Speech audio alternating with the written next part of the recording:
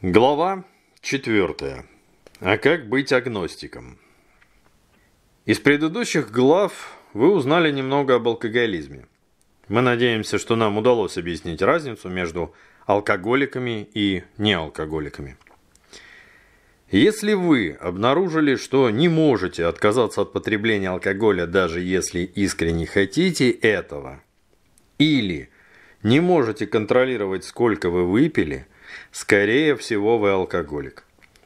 Если это так, то вы страдаете заболеванием, которое может быть излечено только путем приобретения определенного духовного опыта. Атеистам и агностикам приобретение такого опыта кажется невозможным. Но ведь продолжать пить означает губить себя, особенно если вы относитесь к разновидности безнадежных алкоголиков. Не всегда легко сделать выбор между неизбежной смертью от алкоголя и жизнью на обретенной вами духовной основе. На самом деле это не так уж и трудно. Около половины первых членов анонимных алкоголиков были именно атеистами или агностиками. Вначале некоторые из нас избегали этой темы, надеясь, когда уже не оставалось места для надежды, что они не настоящие алкоголики. Но через некоторое время пришлось признать, что или мы найдем духовную основу жизни, или Возможно, так будет и с вами. Не отчаивайтесь, около половины наших членов причисляли себя к атеистам или агностикам. Как показывает наш опыт, не нужно терять самообладание. Если бы моральный кодекс или философия жизни были достаточны, чтобы преодолеть алкоголизм, многие из нас уже давно бы могли выздороветь. Но мы обнаружили, что никакие моральные кодексы и философские концепции не помогают, как бы мы ни старались.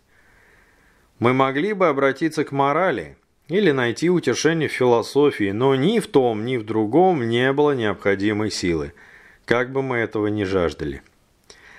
Наши внутренние резервы во главе с волей оказались недостаточными. Для них это была непосильная задача.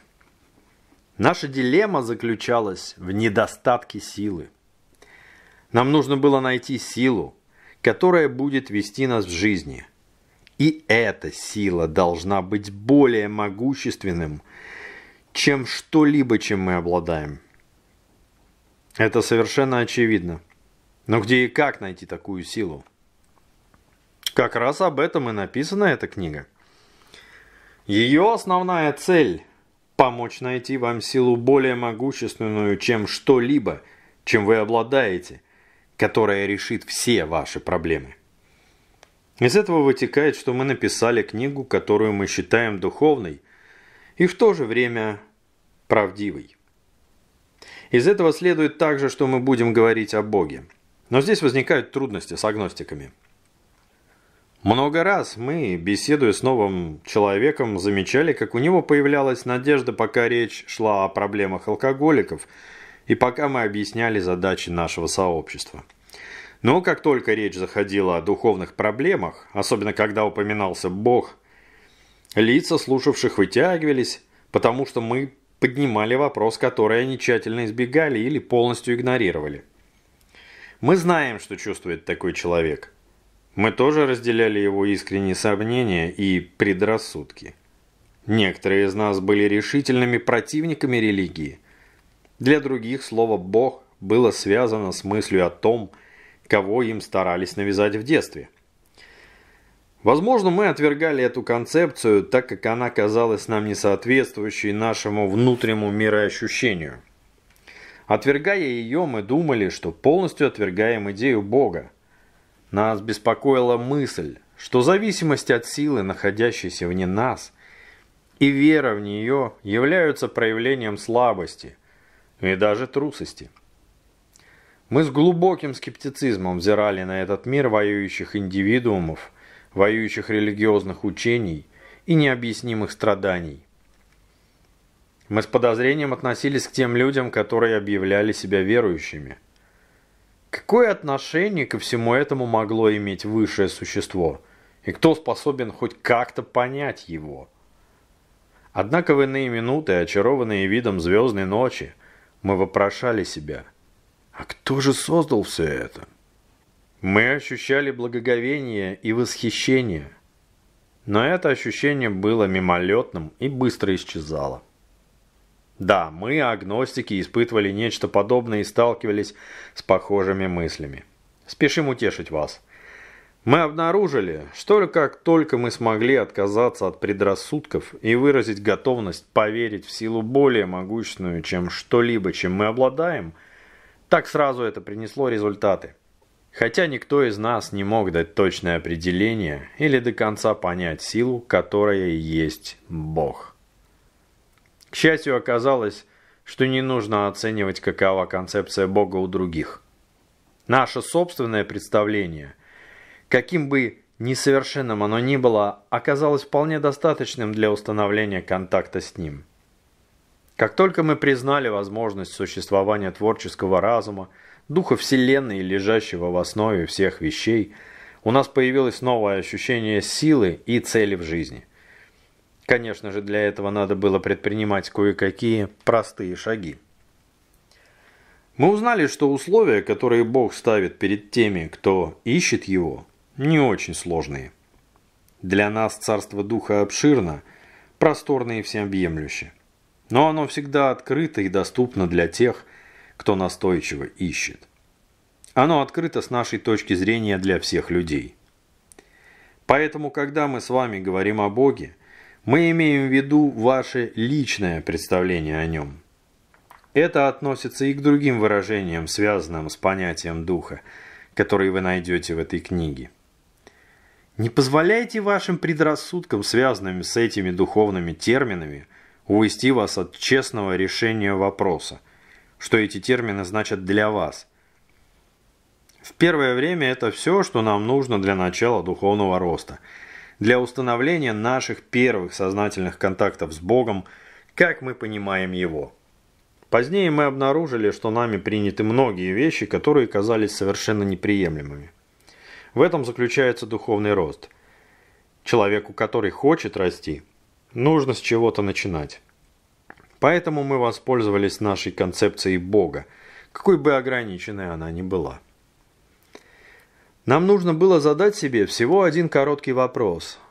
Верю ли я или готов ли я поверить, что существует сила более могущественная, чем все, чем мы обладаем?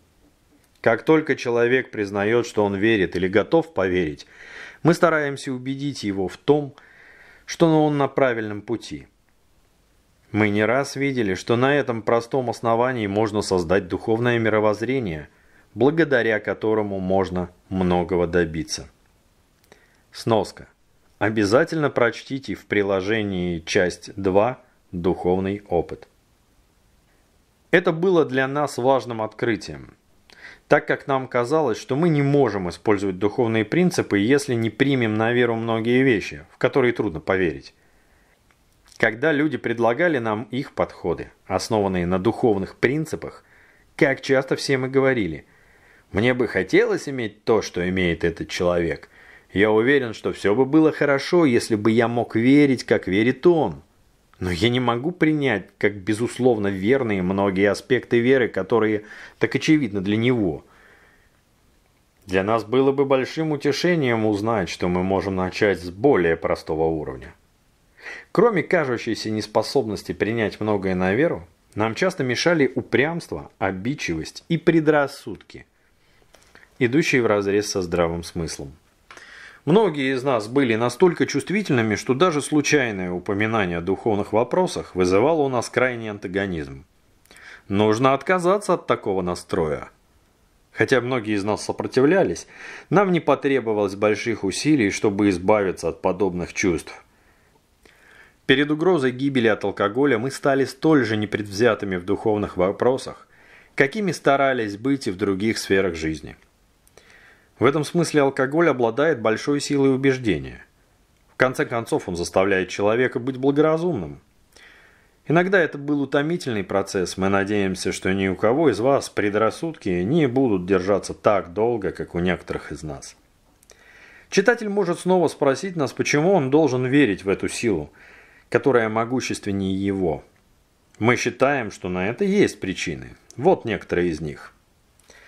Практичный современный человек придерживается фактов и конкретных результатов. Тем не менее, 20 век охотно принимает всевозможные теории при условии, что они основаны на фактах. Существуют многочисленные теории, например, касающиеся электричества. Все мы принимаем их без тени сомнения. Почему же мы так легко готовы принять их? Просто потому, что мы не можем объяснить, что мы видим и чувствуем, над чем главенствуем и чем пользуемся, без какого-либо разумного предположения, выбранного в качестве исходного пункта. Мы все верим в истинность многочисленных предположений, которые подтверждаются фактами, хотя точных визуальных доказательств нет. Не доказывает ли наука, что визуальные доказательства самые неубедительные? Мы постоянно обнаруживаем при изучении материального мира, что видимая реальность вовсе не является истинной сущностью. Ну, приведем пример. Прозаическая стальная балка представляет собой множество электронов – с невероятной скоростью движущихся относительно друг друга. Движение этих крошечных тел происходит по совершенно точным законам, и эти законы одинаковы для всего материального мира, так нас учит наука. У нас нет никаких оснований сомневаться в этом. Однако, как только нам предлагают вполне логичное предположение, что в основе всего материального мира и жизни – Насколько мы можем понять это, лежит всемогущий руководящий творческий разум, как тут же незамедлительно проявляется наш антагонизм. И мы усердно стараемся убедить себя, что все это совсем не так. Мы читаем множество многословных книг и ведем пустые споры, полагая, что Вселенной не нужен Бог, чтобы объяснить ее существование. Но если бы это было так, то из этого вытекало бы, что жизнь возникла из ничего и что она бессмысленна и куда не движется. Вместо того, чтобы считать себя разумными представителями Бога, передовым отрядом его непрерывного творения, мы, агностики и атеисты, предпочитаем верить, что наш человеческий разум является последним словом, альфой и омегой, началом и концом всего сущего. Мы довольно тщеславны, не правда ли? Мы все, шедшие этим сомнительным путем, просим вас отказаться от предрассудков, в том числе направленных против организованных религий. Мы поняли, что при всех своих недостатках вера дает смысл и цель миллионам людей. У верующих есть вполне разумная идея о том, каков смысл жизни. У нас в прошлом фактически не было никакого общего представления о жизни как таковой – мы забавлялись тем, что цинично разбирали по косточкам духовные верования и практику религии, не замечая того, что многие люди с религиозными устремлениями, независимо от расы, цвета кожи и вероисповедания, демонстрируют известный уровень стабильности, счастья и благополучия, к которым следовало бы стремиться и нам. Вместо этого мы искали обыкновенные человеческие недостатки в этих людях – а иногда использовали эти недостатки как основу для огульного осуждения всех верований. Мы говорили о нетерпимости, оставаясь сами нетерпимыми. Мы не видели реальности красоту леса, так как нас отвлекало безобразие отдельных деревьев в нем. Мы никогда не уделяли должного внимания духовной стороне жизни. В наших рассказах о себе вы найдете множество путей, при помощи которых мы постигали силу более могущественную, чем мы – и это совершенно не важно, согласны или нет мы с тем или иным путем. Опыт научил нас, что в нашем случае нет смысла беспокоиться об этом.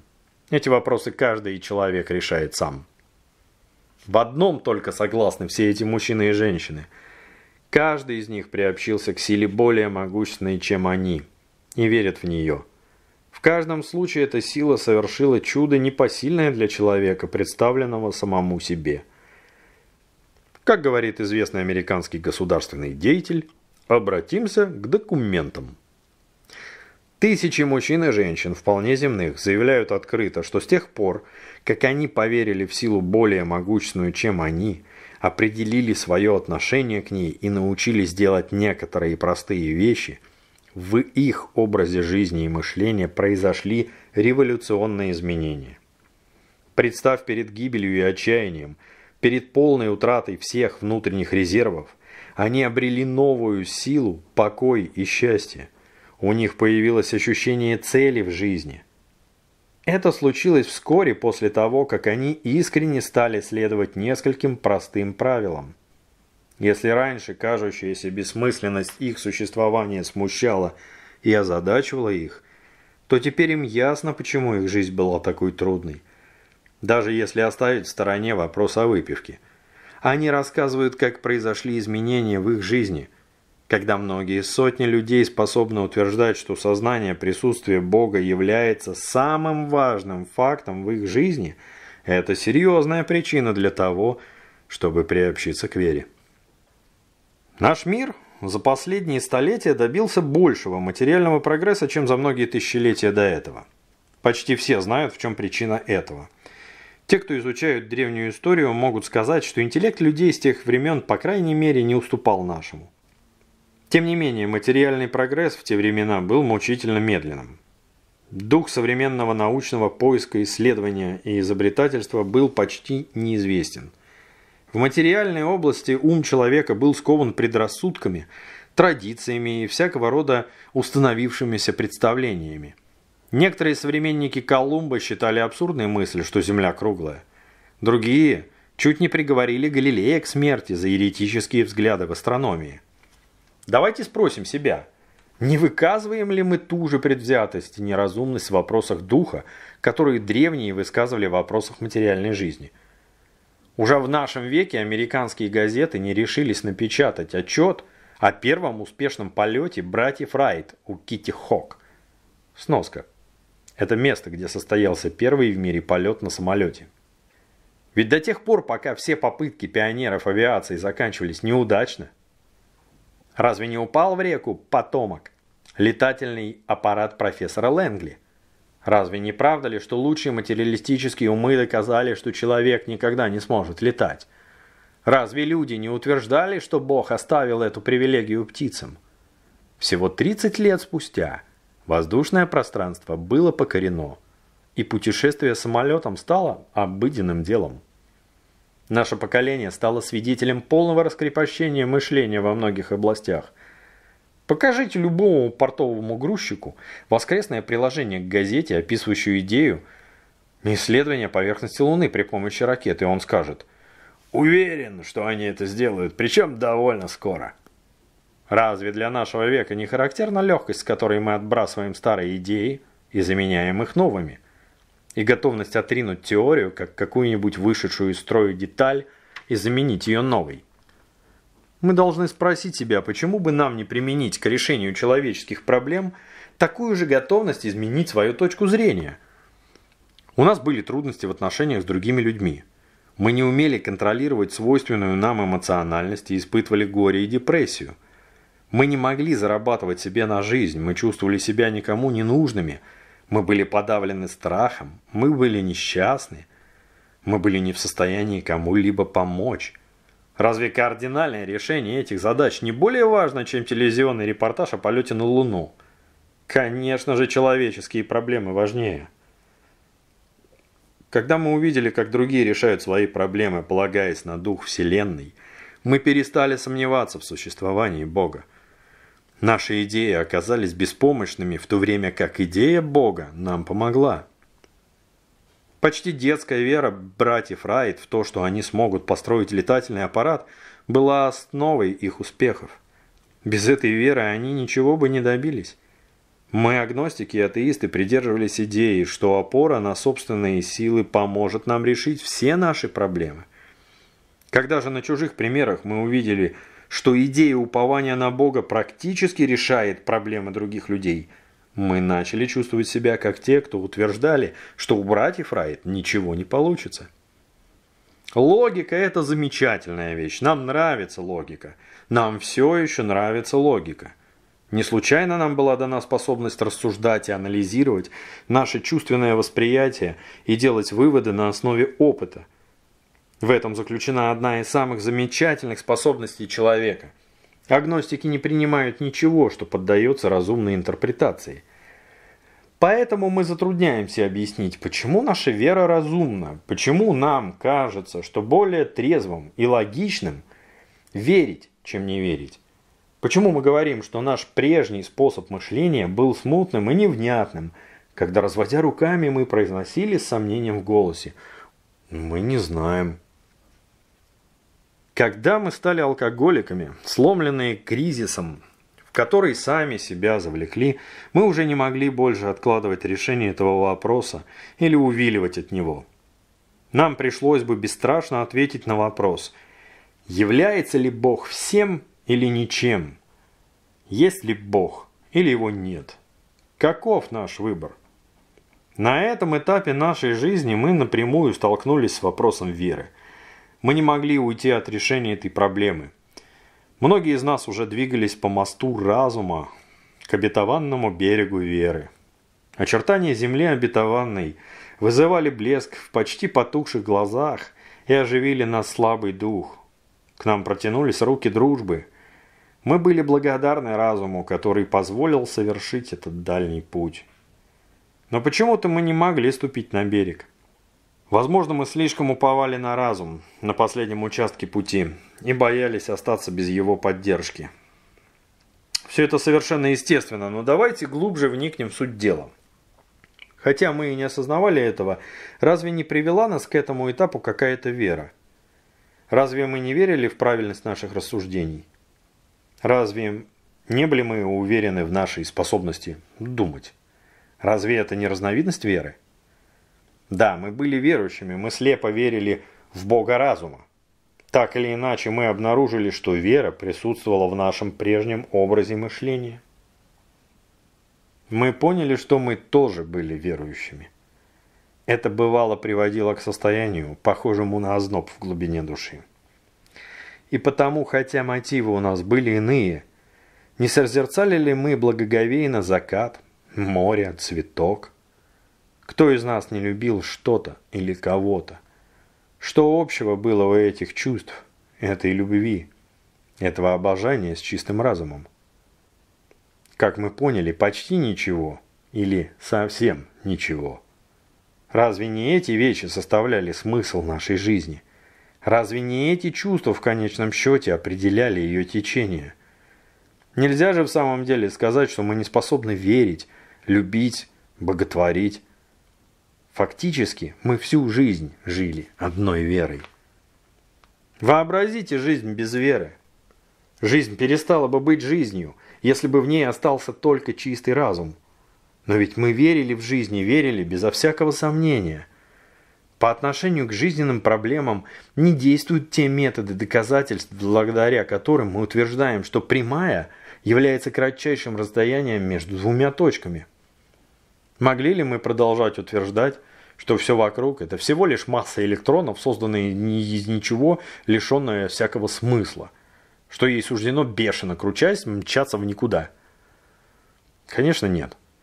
Даже электроны представляются слишком разумными, чтобы участвовать в этом сценарии. По крайней мере, так говорят химики.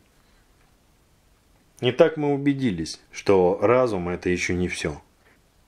К тому же, на разум нельзя полагаться, если учесть, как большинство людей им пользуются. Ведь его доводы есть порождение лучших умов. А как насчет тех, кто доказывал, что человек никогда не сможет летать? Но ведь мы видели полеты совсем иного рода. Например, духовный взлет над обыденностью, который демонстрировали нам люди, способные возвыситься над своими проблемами. Они говорили, что Бог сделал это возможным, а мы только улыбались. Мы видели примеры духовного освобождения, но предпочитали говорить себе, что это неправда. На самом деле мы обманывали самих себя, потому что в душе каждого мужчины, каждой женщины и каждого ребенка есть основополагающая идея Бога. Она может ощущаться невнятно, заслоненная бедой, помпезностью или преклонением перед другими вещами, но в той или иной форме она есть всегда – ибо есть вера столь же древняя, как и сам человек. Это вера в силу более могущественную, чем мы, и в чудесные проявления этой силы в жизни людей. Мы наконец увидели, что вера в какого-то Бога столь же свойственна нам, как, например, чувства, которые мы питаем к другу. Иногда нам требовалось бесстрашие в поисках, и тогда мы находили его. Он был столь же реален, как мы сами. В глубине души мы обнаружили великую реальность. В конечном счете, только там и можно его найти. Так было, по крайней мере, у нас. Мы можем лишь слегка прояснить суть дела. Если наши свидетельства помогут вам отказаться от предрассудков, научат мыслить честно, ободрят и придадут усердие в исследовании своего «я», тогда, если вы захотите этого, вы сможете присоединиться к нам, идущим по широкому пути. С таким взглядом на мир вы не пропадете. К вам придет, наконец, осознание веры. В этой книге вы прочтете о человеке, который считал себя атеистом. Его история настолько интересна, что ее стоит вкратце пересказать. Перемена, произошедшая в его душе, была удивительно, трогательна и полна драматизма. Наш друг был сыном священника. Он посещал церковную школу, в которой он взбунтовался, потому что, как ему казалось, слишком много времени отводилось изучению религии. В течение многих лет его преследовали несчастье, разочарование, неудачи в делах, психическое заболевание, смертельная болезнь, самоубийство. Все эти беды в его семье ожесточили и сломили его. Утрата иллюзий в послевоенные годы, усилившийся алкоголизм, грозящая физическая и умственная деградация довели его до состояния близкого к самоубийству. Однажды ночью – когда он был в больнице, к нему подошел алкоголик, познавший соприкосновение с духовным миром. В ответ на все уговоры наш друг с отвращением крикнул «И если Бог есть, то он уж точно ничего не сделал для меня!» Но позже, оставшись один в своей комнате, он задал себе вопрос. «Неужели все верующие, которых я знал, заблуждаются?» Думая об этом, он понял, что живет в аду. И вдруг, как удар грома, явилась необъятная мысль, которая вытеснила все остальное. Да кто ты такой, чтобы утверждать, что Бога нет? Этот человек рассказывает далее, как он сполз с кровати на колени. Через несколько мгновений ощущение Божьего присутствия переполнило его. Оно пронзило его и переполнило душу с неотвратимостью и мощью половодья – все преграды, которые он строил годами, были снесены. Он оказался лицом к лицу с безмерной силой и любовью. С моста он ступил на берег. Впервые в жизни он был вместе с Создателем, вполне сознавая это. Так был заложен краеугольный камень веры у нашего друга. Никакой последующий анализ уже не мог поколебать его. Его алкогольные проблемы перестали существовать. Они исчезли именно в ту самую ночь много лет тому назад. За исключением нескольких моментов искушения, мысль о том, чтобы выпить, уже не возвращалась к нему. А в моменты соблазна в нем поднималось чувство отвращения. Похоже, что он не мог бы выпить, даже если бы захотел. Бог вернул ему здравомыслие. Что же это, как не чудо исцеления? Вместе с тем, путь к этому чуду состоит из простых этапов. Обстоятельства возбудили в нашем друге желание верить. Он смиренно припоручил себя Создателю. И тут он все понял. Как бы там ни было, нам всем Бог возвратил здравомыслие. К этому человеку откровение пришло внезапно. У других это был длительный процесс. Но он пришел ко всем из нас, кто честно искал его. Когда мы приблизились к нему, он открыл